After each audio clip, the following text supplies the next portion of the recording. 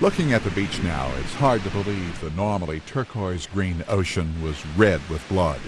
38 year old kiteboarder Stephen Schafer screaming in pain. Probably with about 20 yards or so from him. I noticed there's a lot of blood in the water.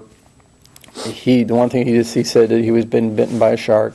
That's the scene Lund came upon as he paddled on his rescue board out into the water to check on Schafer because he appeared to be in trouble. He was kind of draped over the the uh, the the kite itself, and it was drifting. It was making the effort to try and you know come in. Once on the beach, paramedics performed CPR on Schafer, but he died at a hospital a short time later.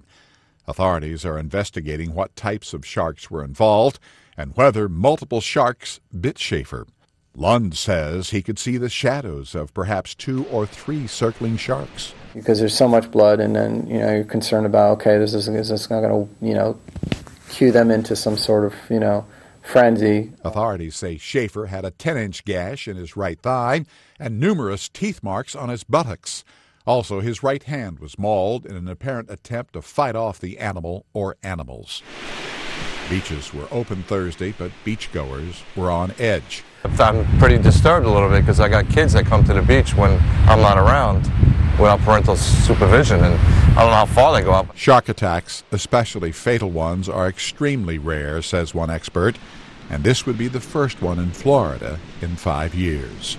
Ross The Associated Press.